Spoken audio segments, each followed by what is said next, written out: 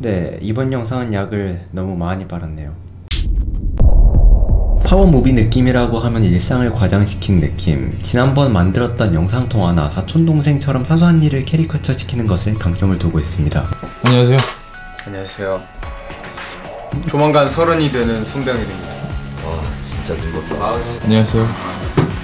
안녕하세요 조만간 서른이 창명입니다 가끔은 이런 아이디어를 완전 창작이라기보단 누군가 만든 아이디어에서 제 나름대로 재해석하는 경우도 있는데 이번 코로나 4단계 영상 같은 경우에는 서울시에서 만든 포스터에서 영감을 받았습니다. 폭탄이라는 게 터지면 돌이킬 수 없다는 표현도 되지만 저런 폭탄을 들고 다녀도 사람들이 피해 다니지 않을까라는 생각이 들더라고요. 그래서 네 장민욱 배우님께 수류탄을 드렸죠.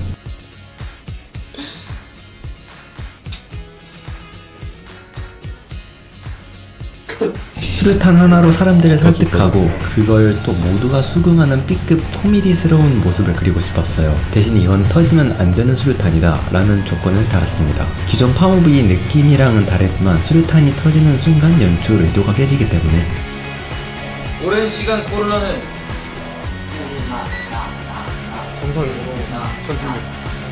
자, 다음. 방향은 파워비스러워도 제대로 확실하게 놀 수 있는 시대 모두가 눈치 보지 않고 만날 수 있는 날이 어서 오기를 바라는 마음에서 연출했던 것 같아요. 그게 이번 영상의 의도입니다. 평소 같았으면 신나게 배드엔딩이었겠지만 이번 건 예외로 모두가 바라는 미래이고 여러분이 신나게 뛰어놀 수 있는 모습을 파워보이 스럽게 대변하는 그런 목소리를 적어도 조회수만큼은 내지 않았나 싶습니다. 나가 놀기 어려운 요즘 집에서도 분주한 생활 보내지 않게 저희도 더 재밌는 영상 만들어 찾아뵙겠습니다. 모두 아프지 말고 건강하시기 바랍니다.